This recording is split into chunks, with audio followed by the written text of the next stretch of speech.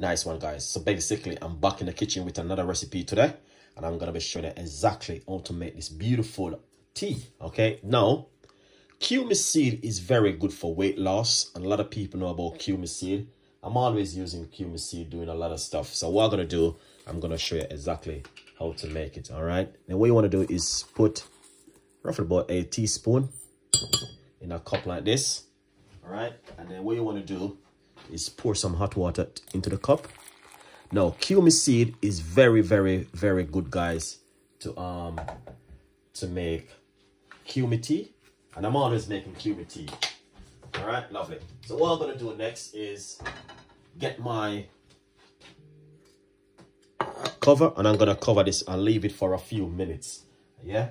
And after I do this, then what I'm going to do, all right, guys, I'm just simply showing you what you can do at home. Leave it for about four to five seconds. And then what you want to do next is get your cup right here and pour out your cumin seed water into the cup like this.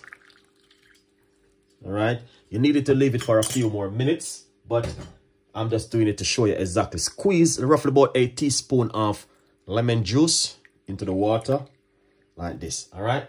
And what you want to do is two things. You could use a little bit of honey or you can use some use some organic honey. All right. And just give it a sweeten like this. All right. Drink this before you go to bed or first thing in the morning on a empty stomach. Very, very good tea for weight loss and detoxing of the body. For more tips and more ideas, stay tuned with my healthy recipes. Bye-bye for now.